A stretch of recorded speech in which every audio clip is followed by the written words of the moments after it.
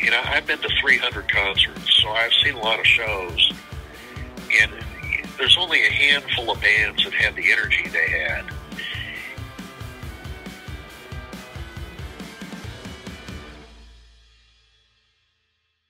The MC5, one of the greatest bands to have come out of the 1960s, one of the most influential bands to come out of the 1960s. My name is Jason Bolanis, and this channel is called Endangered Stories, where I mostly do historical, fun little videos about a town that I grew up in. So why am I doing a video now about the MC5?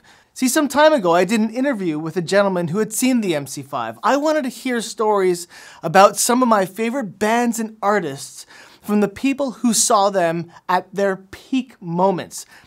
I did a video about Nick Drake and someone who saw Nick Drake in England perform twice, which blew my mind. Well, this time I found someone who saw the MC5 12 times. Now, I could do a story about who the MC5 was, who they influenced, who they were influenced by, the ripple effects of their story, but a lot of that exists online. I wanted to find out something different about the MC5. I wanted to find out a perspective about the MC5 from someone who was in the crowd to see them in their peak moment. That's what I find is lacking, and that's what I wanted to find out. And Rick was the guy to help me with that. So, a couple years ago, actually, I had a conversation with Rick, and it was just through the telephone. So the quality isn't the best that it could be, but I tried to put together something that you could enjoy and hopefully discover something new about this group, a perspective from someone who was there at the time when the five were kicking out their jams in the Detroit area. So here's the story of Rick's journey with the MC5. Enjoy. Oh, and please, if you want to see more of this type of stuff, please subscribe down below, click the like button, write a comment and say, you know, I love this. Please do more of this stuff. And gladly, I will fuse my two passions together, which is music and history. Actually, music, history, and history. Here's the MC5. The first time I saw them was opening for Zeppelin. And uh, I was a big Zeppelin fan. So, you know, I just bought tickets and they were there. And I thought they were great. They were second on the bill. Uh, Grand Funk Railroad opened and then it was the MC5, and then Lee Michaels and Led Zeppelin.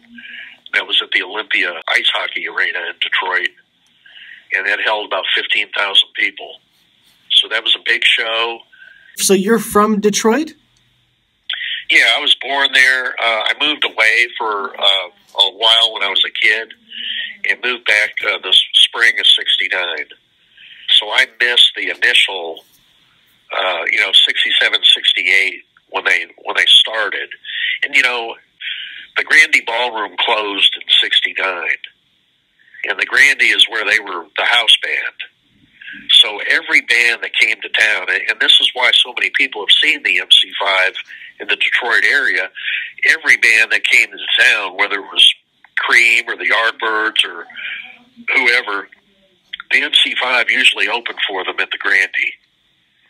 So whoever you bought a ticket to go see in 67, 68, you probably saw the MC5 open for them. I mean, they had a show, a stage show, that was unlike anybody else.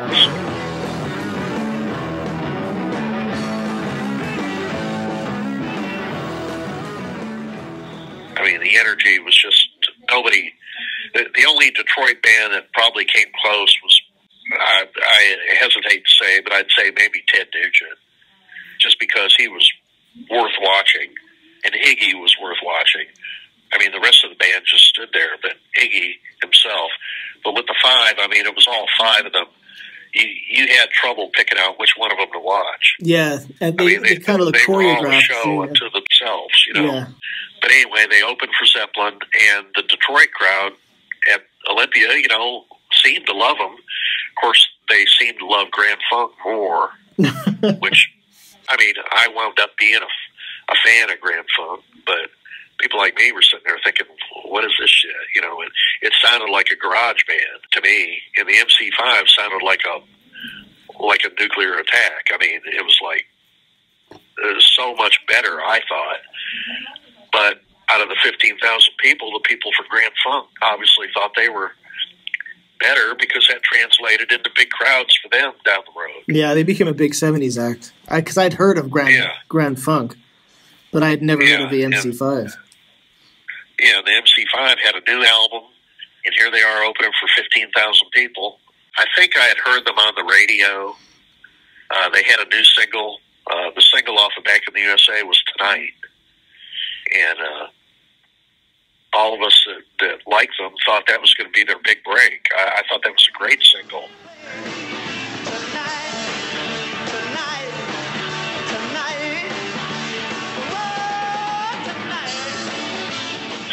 we thought, well, this is going to be it. You know, they're they're going to be huge now, and it it just didn't happen.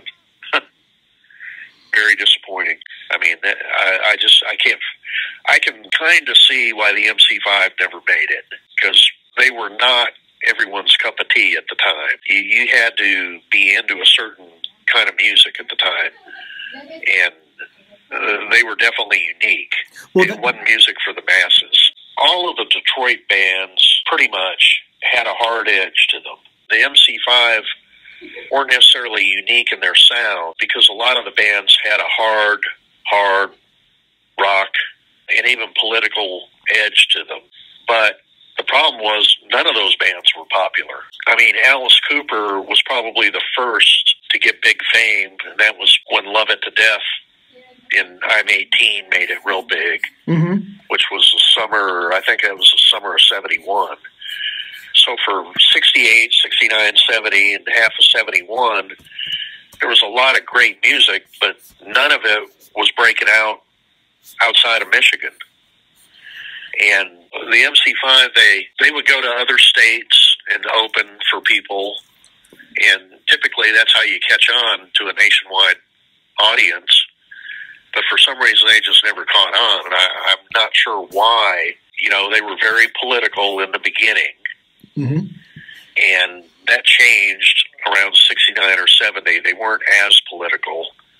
You know, they did away with all the flags and the and the carrying rifles on stage and all that kind of.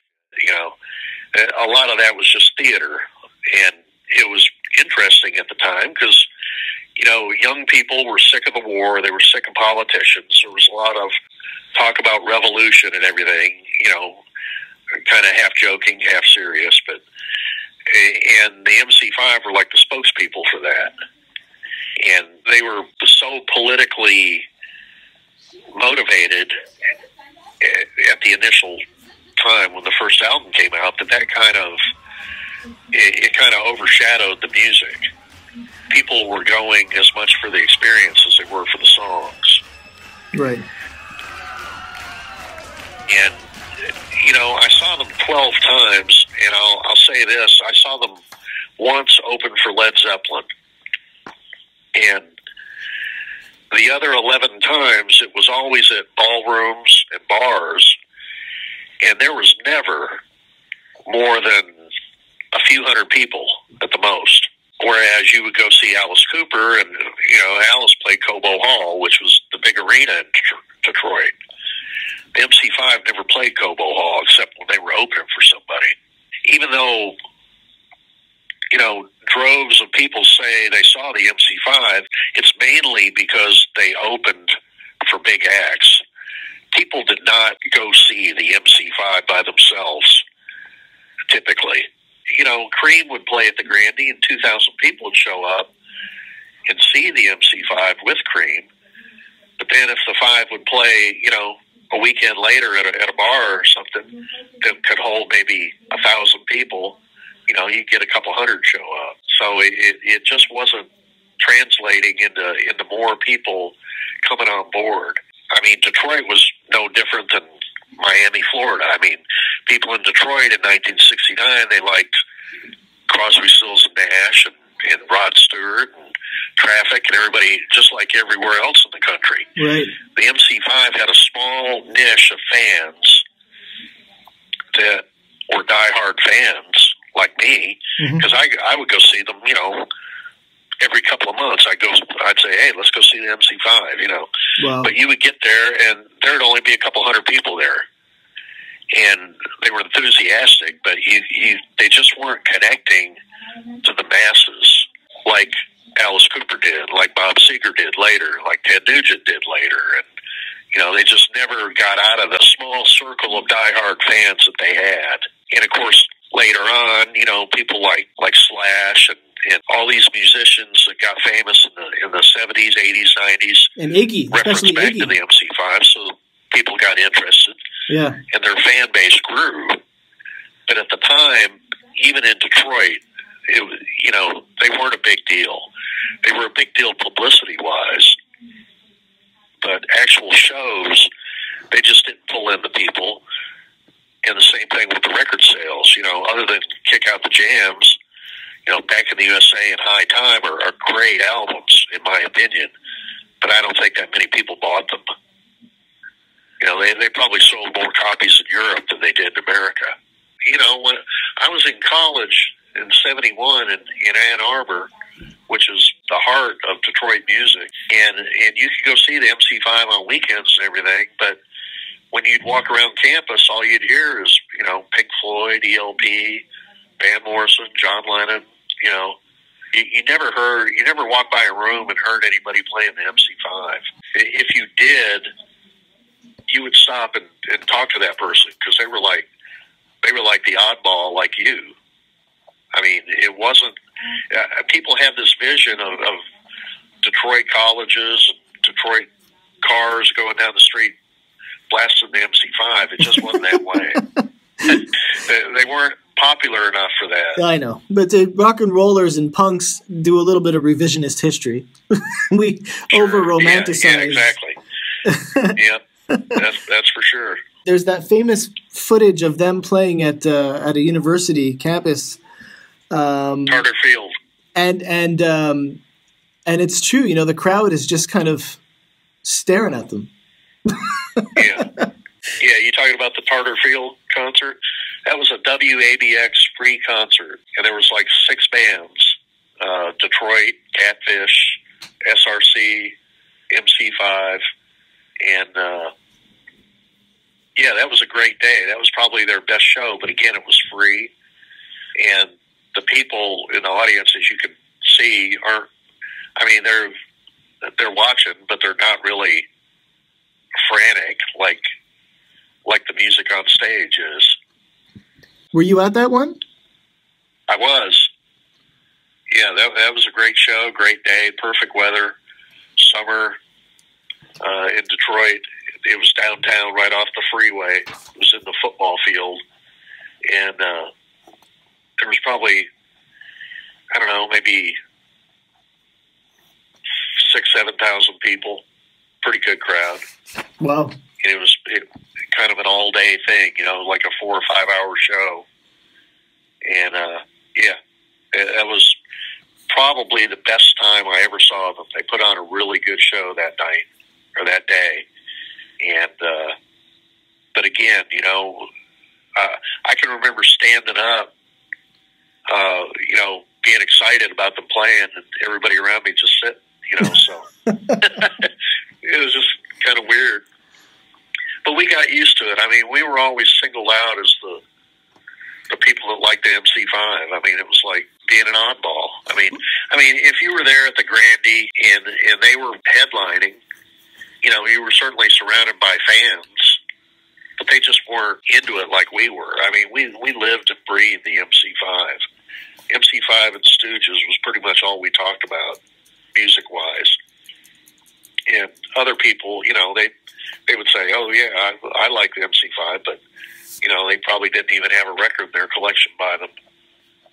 So it, it was just kind of most fans were just kind of mild fans. We we were more we were into it more. I mean, I joined the White Panthers, all that shit. So I, I was into it. And what's funny about the MC5 is how many people completely missed the whole scene when they were a band and only caught on to them in the 80s or the 90s because someone mentioned in an interview that they used to listen to the MC5. So you say, who the hell's the MC5? You know what I mean? That's what happened to me.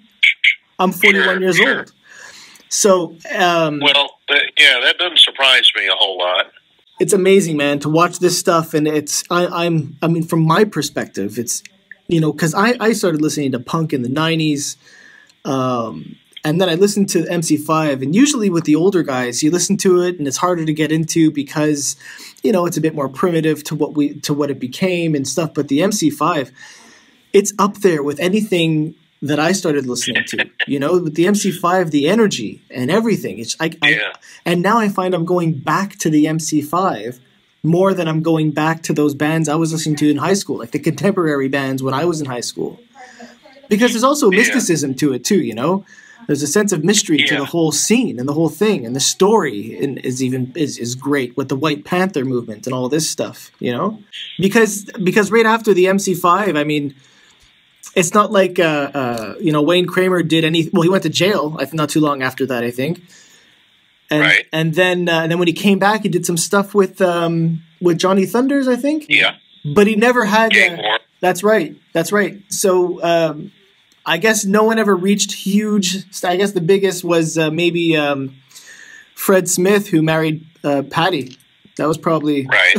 that was probably. Well, Fred's Fred's really the only one that had a significant band after the MC5.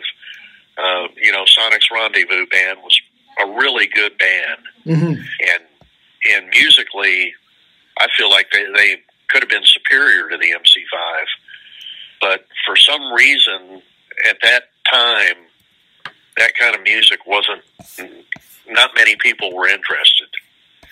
But if you listen to their stuff, they were a band from about 75 to 78. And, you know, even though they were together for three years, they never even made a legitimate recording. Everything that's out from them is unofficial. And, uh, but they, but they've got probably two to three albums worth of material. And it's all great stuff. I mean, good hard driving rock and roll. And then, you know, when Fred hooked up with Patti, the band kind of dissolved, and he started writing with Patti, and and she made her comeback with a Dream of Life and everything.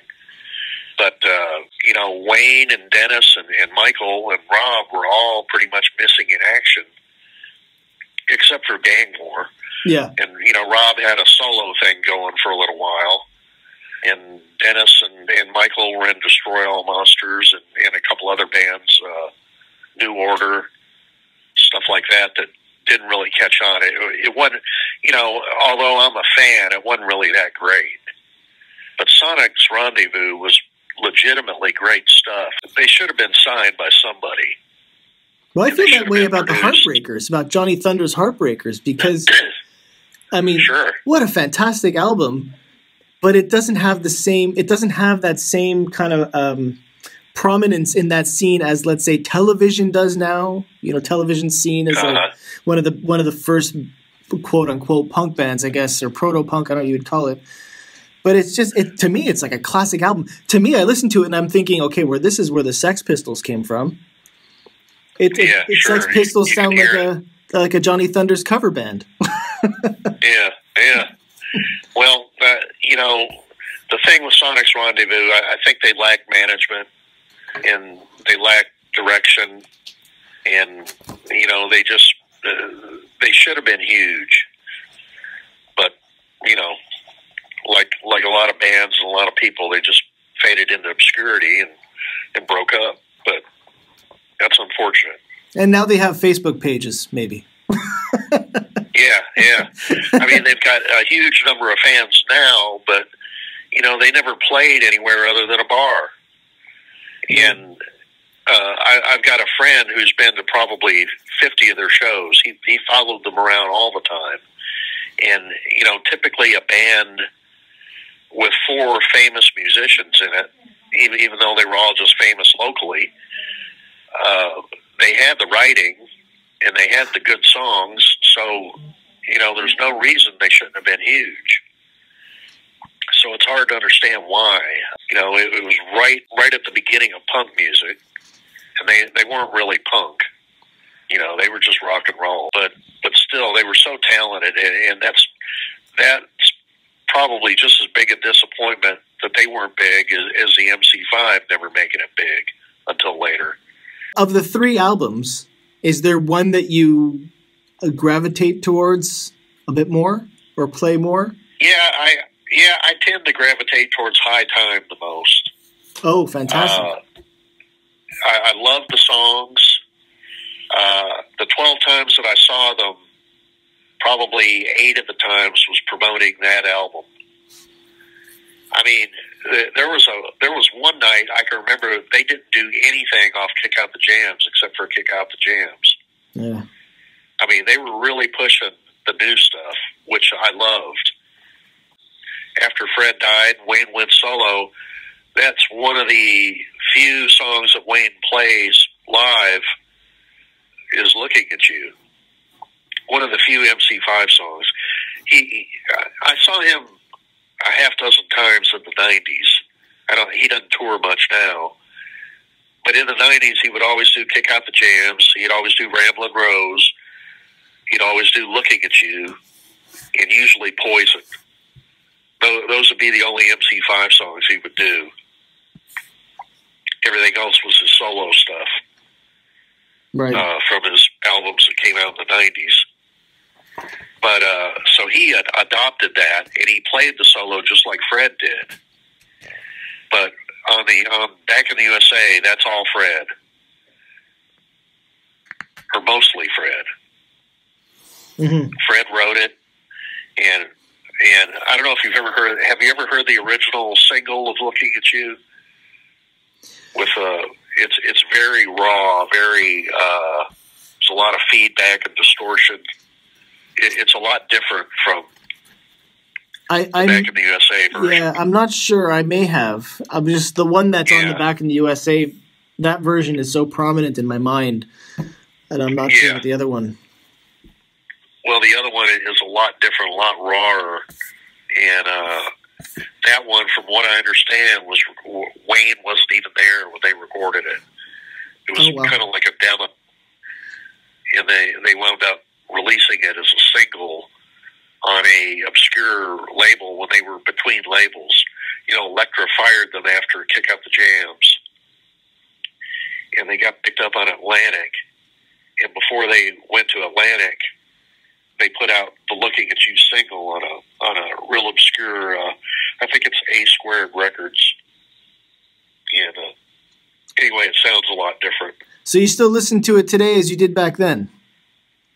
Oh yeah, yeah. I, I you know I have so many records. I've got six thousand albums, so I, I'm a music collector really.